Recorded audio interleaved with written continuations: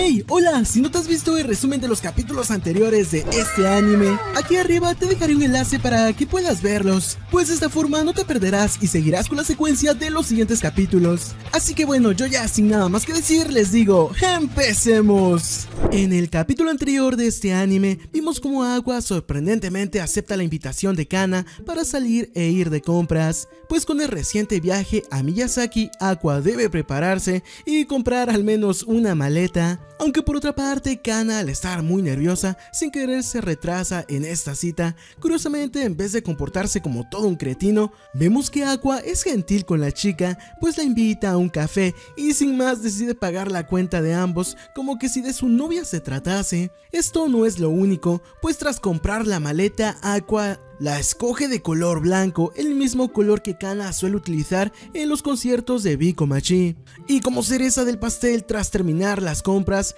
Aqua invita a la chica a un restaurante súper lujoso. Esto es demasiado para Kana, quien comenta que Aqua parece ser un traitón millonario que corteja a todas las chicas pequeñas.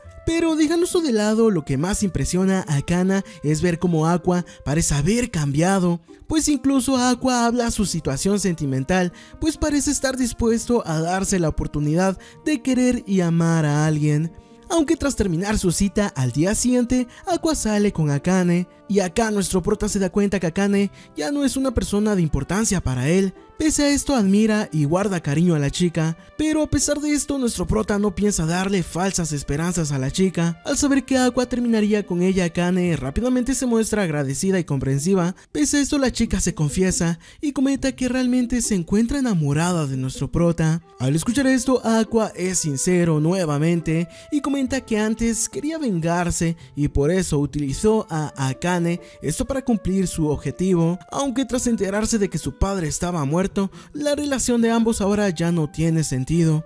Al enterarse de esto, Akane rápidamente sabe que Aqua está confundido, no por sus sentimientos, sino más bien por el verdadero paradero de su padre. Pese a esto, la chica decide quedar en silencio, pues no quiere que Aqua recobre su venganza. Y gracias a esto descubrimos que el verdadero padre de nuestros dos gemelos aún se encuentra vivito y coleando. Dicho esto, el capítulo comienza con un flashback. Acá podemos notar a Garou, quien como de costumbre se encontraba pasando tiempo con Sarina. Todos estos recuerdos nos traen al presente, en donde Ruby se encuentra emocionada al escuchar ahora sí oficialmente la nueva canción original del nuevo Pico Machi. Dejando de lado conocemos a Anemone, quien vendría siendo otra creadora de contenido y alguien que ayudará con el nuevo video musical de Pico Machi. Con ya el equipo de trabajo contratado, notamos que pasan los días y por fin ha llegado la hora de viajar.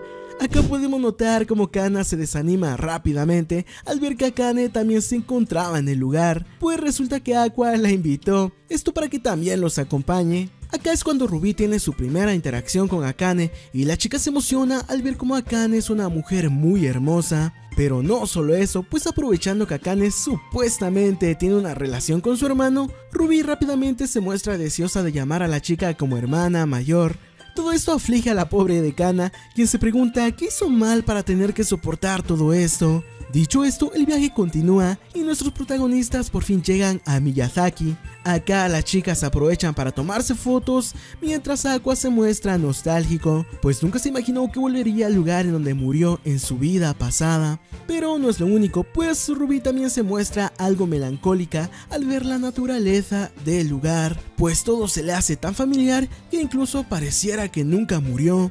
Dejando eso de lado, se nos cuenta que en este lugar se alaba a una diosa llamada Ama no Iwato. Esta parece ser muy popular, pues varios extranjeros han viajado a Miyazaki solo para poder verla. Dicho esto, aprovechando que Aqua y Akane tienen tiempo libre, nuestro prota muestra interés en ir al hospital. Esto preocupa a Akane, aunque en realidad Aqua comenta que solo quiere visitar el lugar en donde él nació. Aunque tras llegar, nuestro prota rápidamente pregunta por Garou a Mimiya. Esto para saber si se sabe algo acerca de su antiguo yo, aunque la enfermera solo se limita a decir que Garou nunca se volvió a presentar al trabajo, y pues el hospital lo tomó como si hubiera renunciado. Esto para Aqua no es raro, pues a final de cuentas ninguno de sus antiguos colegas doctores se encontraban en el lugar, pues ya han pasado 15 años desde su accidente. Y hablando de esto último, tras caminar por el lugar y recordar a Ai, nuestro prota también tiene curiosidad en visitar el lugar en donde murió, aunque tras llegar al acantilado Aqua en forma de pregunta le miente a Akane, preguntándole si hipotéticamente hablando un perro muera en este acantilado, ¿acaso será posible encontrar sus restos? Acá la chica solo responde que es poco probable, pues la fauna hubiera acabado con la escena fácilmente. Con esto sobre la mesa, nuestro prota decide ya no dar vueltas al asunto, y sin más, como última parada, Aqua visita su antigua casa, acá le cuenta a Akane que el tipo que vivía en ese lugar se llamaba Garou, un tipo que nunca tuvo madre pues esta murió cuando lo trajo a la vida. Debido a esto el chico se hizo médico, según por la culpa de haberle arrebatado la vida a su madre, aunque en realidad Garou solo era alguien que adaptaba su vida para convivir con los demás. Todo esto cambió cuando Garou conoció a Sarina y al enterarse que los padres de la pequeña no la visitaban ni en su lecho de muerte, Garou se compadeció de la chica y nunca la abandonó. Acá fue cuando Sarina le entregó a nuestro prota un llavero, esto como señal de los sentimientos que la chica había despertado por Garou. Curiosamente, todos estos acontecimientos estaban siendo observados por un ente que no es de este mundo. Este mismo parece tener el poder de cambiar el destino de las personas, pero de momento su propia existencia es incierta. Regresando con las chicas, notamos como todas se encuentran preparándose para el video musical, aunque acá Kana se sorprende al ver cómo Anemone tiene un equipo de trabajo tan grande, pero lo que más le sorprende es ver cómo Miyako gasta muchos recursos en Bikomachi sin este generar ingresos. Aunque bien sabemos que esto se debe al amor que Miyako tiene por Ruby, ya que para ella es como su propia hija. Dicho esto, notamos como las grabaciones de los bailes comienzan, acá nuestro prota y Akane se unen al equipo. Aunque al ver como Kana luce un traje muy llamativo, rápidamente Akane se molesta con ella, pues no puede creer que la chica sea tan descuidada con su traje, aunque en realidad Akane lo único que quiere es que Kana resalte en el video. Pues como bien sabemos, Akane es un gran fan de Kana y esto es una relación entre amor y odio. Dicho esto, el grupo se toma varias fotos y tras ver los ensayos, Akane aprovecha para regañar a Aqua, pues resulta que la chica se enteró de que nuestro prota tuvo una cita con Kana y esto puede ser un problema. Pues ahora Kana es un idol y si el mundo la mira con un chico, rápidamente los medios pueden crear mucha polémica. Esto preocupa a nuestro prota, pues en el peor de los casos Kana podría terminar como su madre, Ai. Pero dejando de lado, tras terminar con las grabaciones de Ruby, la chica se muestra deseosa de regresar al hotel acompañada de Akane, pues como anteriormente había dicho para Ruby, Akane es como una hermana mayor. Aunque tras salir del estudio, un cuervo toma las llaves de Ruby y escapa volando. Esto desata una persecución, aunque tras caminar Akane motiva a Ruby para que también aprenda algo de teatro, e incluso la misma chica se ofrece a enseñarle si nuestra prota así lo desea. Esto motiva a Ruby, aunque la chica comenta que le gustaría ser actriz luego de convertirse en una gran idol, pues su meta consiste en volverse famosa para de esta forma volver a toparse con Garou y por fin cumplir la relación que tanto anhelaba la chica. Al enterarse de que Ruby está enamorada, Akane no puede evitar sonrojarse, y más cuando Ruby cuenta cómo su sensei siempre estuvo a su lado, aunque también lo odiaba, pues por más que le decía que lo amaba y quería casarse con él, Garou solo evadía el tema.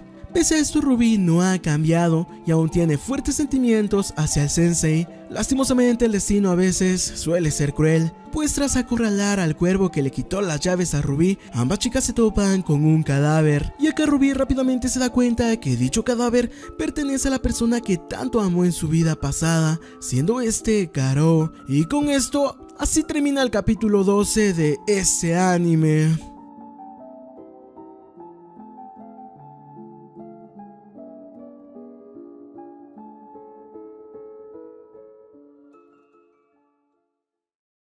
Bueno gente, gracias a todos por ver el video, suscríbete para no perderte los resúmenes de este y otros animes que de momento son de temporada. Y bueno, yo ya sin nada más que decir les digo hasta la próxima.